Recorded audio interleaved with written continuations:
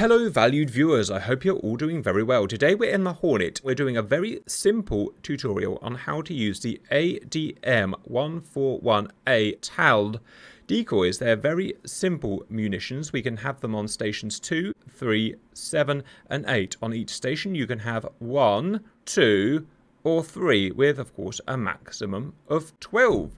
They are the non-powered variant of the TALD. We fire them and they glide on that fired course for as long as they can through some electronic sorcery, they enhance their radar cross section as seen by hostile radars.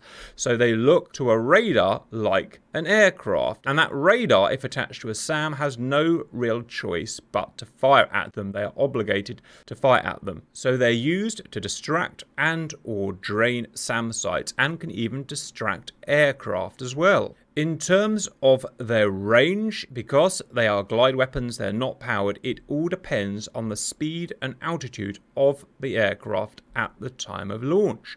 If we drop them low down and slow, they'll only go a few miles.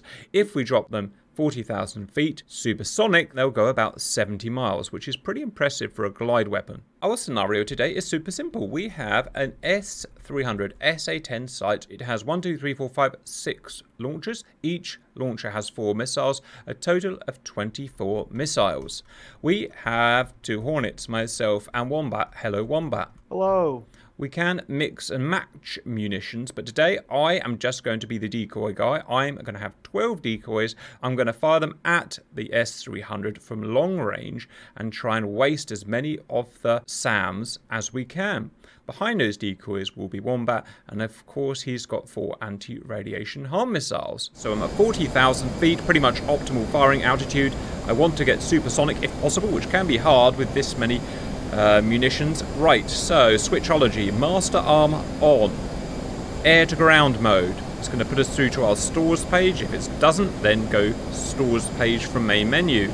Select the weapon. It's The syntax currently is 8-2P.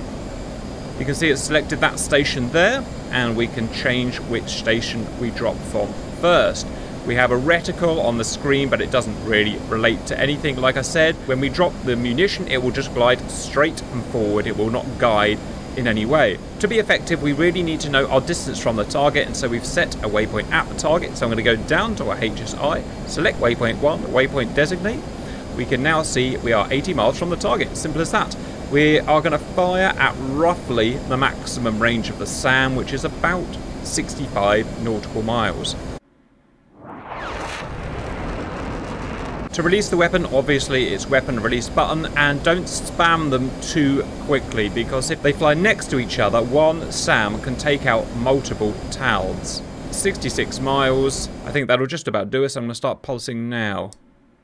About one second between pulses should be good. Now they're unpowered. There was a powered version of the TALD, but this is the unpowered version.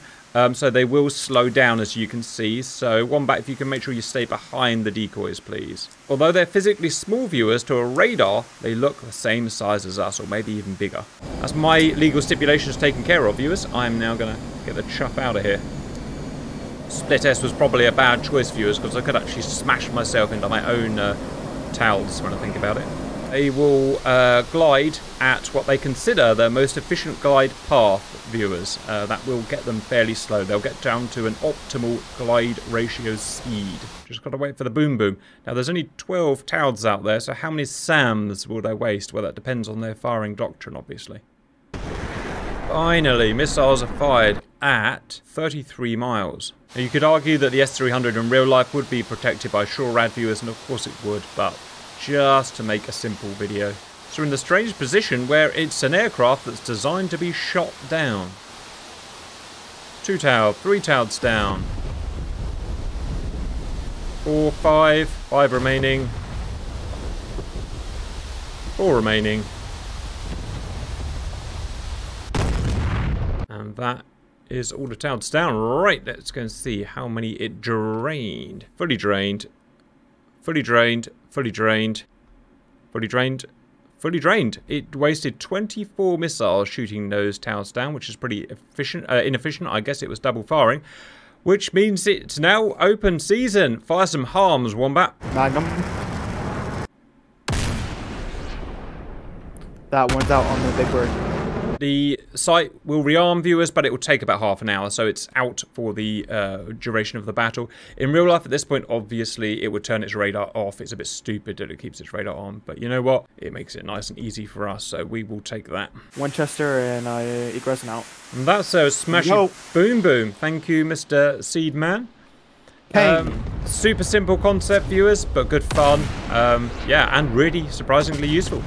I hope you enjoyed that and see you later.